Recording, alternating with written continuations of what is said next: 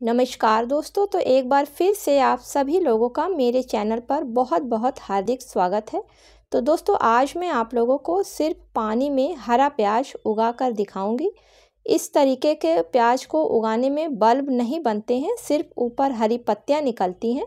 तो देखिए, इसमें कितनी अच्छी ग्रोथ हो रही है। साथ में इसमें रूट्स भी काफ़ी अच्छी निकल आई हैं। तो चलिए देखते हैं कि कैसे लगाना है।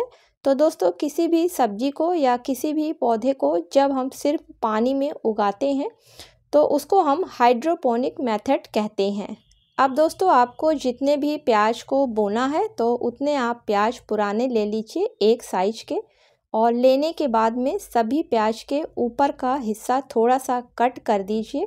कट कर देने से वहाँ से नई पत्तियों को निकलने में काफ़ी आसानी रहेगी और अगर कट नहीं करेंगे तो भी पत्तियाँ निकलेंगी, लेकिन वो थोड़ा ज़्यादा टाइम ले लेंगी।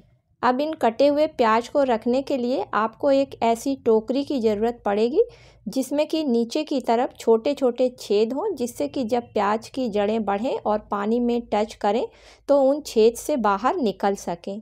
इसके बाद आपके पास जितने भी प्याज हैं और जो भी आपने टोकरी ली है उस टोकरी में अच्छी तरीके से सभी प्याज को सेट कर दें। ध्यान रखना है कि टोकरी में जब प्याज सेट करें तो जो कटा वाला भाग है वो ऊपर की तरफ़ रखें और जड़ वाला भाग नीचे की तरफ़ रखें। अब इस टोकरी को रखने के लिए आप किसी ऐसे बर्तन का सिलेक्शन करें जिसमें कि ये टोकरी फिट हो जाए और जब आप नीचे बर्तन में पानी डालें तो टोकरी के सरफेस पे पानी टच होता रहे पानी ऊपर नहीं आना चाहिए, नहीं तो प्याज जो है वो सड़ जाएँगे। अब आप बर्तन को उठाकर पूरी धूप में रख दें, अगर सर्दी के मौसम में प्याज को उगा रहे हैं और अगर गर्मी के मौसम में हरा प्याज उगा रहे हैं तो उसको फिर छाँव में ही रखें। इस तरीके से आप देखेंगे कि चार से पाँच दिन के बाद कटे वाले भाग से हरी हरी पत्तियाँ निकलनी छोटी छोटी शुरू हो गई हैं और नीचे जो सूखी वाली जड़ हैं, वो अब सफ़ेद होकर पानी में टच करने लगी हैं।